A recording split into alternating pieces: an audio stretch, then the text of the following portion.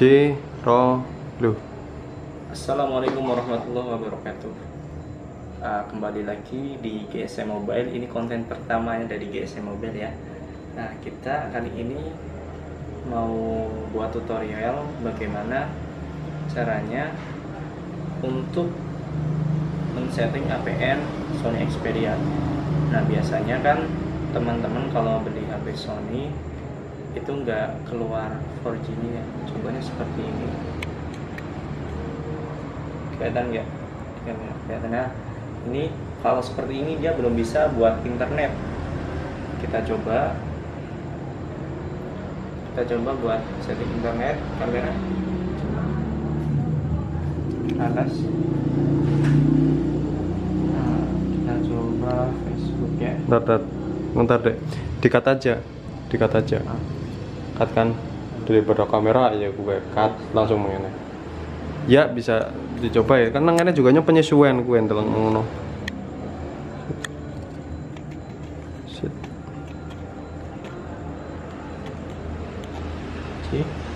Dede. Soalnya aku udah jelas juga buat apa kan? Nah, Satu, dua, tiga.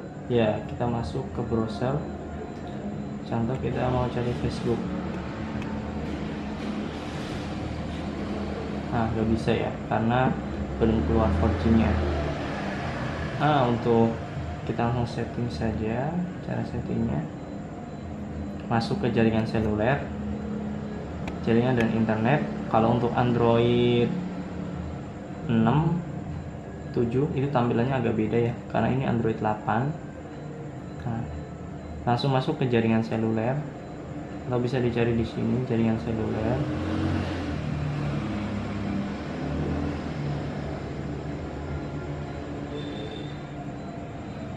nah jaringan seluler ketik saja.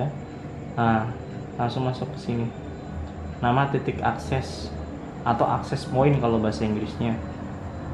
Langsung si- diisi aja. Cukup isi nama. Kita ketikkan internet saja. Kalau untuk akses internet internet saja ya. Itu cara cepatnya aja. Nah, langsung oke dan simpan. Kalau untuk tree dia 3GPRS atas nama 3GPRS dan APN nya 3GPRS langsung kita simpan saja. Nah langsung keluar LTE ya. Kelihatan nah kalau udah keluar LTE seperti ini itu tandanya bisa buat koneksi internet. Kita cek apakah bisa karena ini kuotanya udah ini tunggu saja.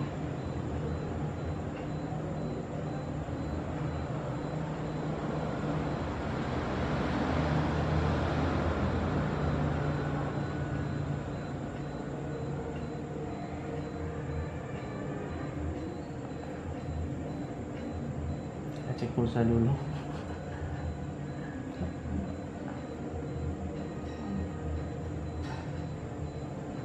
Oh, ternyata kodenya habis guys. Hmm. jadi kalau keluar udah keluar lambang seperti ini biasanya dia udah bisa buat internet. Karena kalau belum kalau belum keluar 4G nya seperti ini atau LTE dia belum bisa buat internet. Ini kebetulan kartu saya kuotanya habis. Jadi tidak bisa untuk internetan.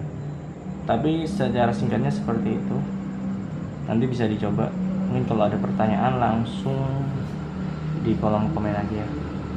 Biasanya langsung bisa. Ini karena kar- apa eh, HP-nya belum ada kuotanya. Oke sekian video dari GSM Mobile. Eh,